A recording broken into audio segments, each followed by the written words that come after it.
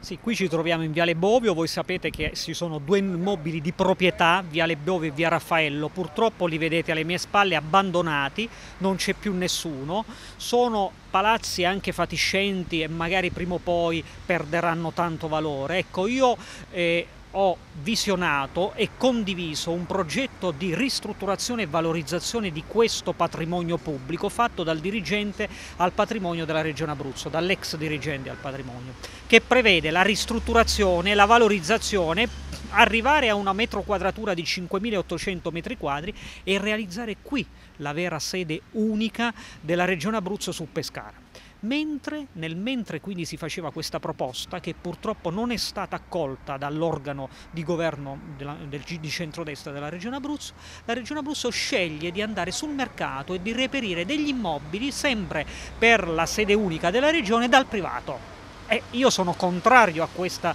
operazione perché il pubblico è sicuramente di interesse pubblico e di interesse generale, anche perché sul privato si vuole prendere in affitto per sei anni con prorogabili ad ulteriori sei anni con eventuale opzione di acquisto. Questa operazione potrebbe costare tante decine e decine di milioni di euro e non converire rispetto a valorizzare l'esistente. Tutto ciò si colloca in un contesto ancora più nebuloso, io direi, perché ricorderete che diversi anni fa la Regione stava optando per prendere in affitto la City, la cosiddetta City. Bene, quell'operazione non è stata conclusa, è stata solo sospesa, è rimasta a, a piedi, quindi aperta,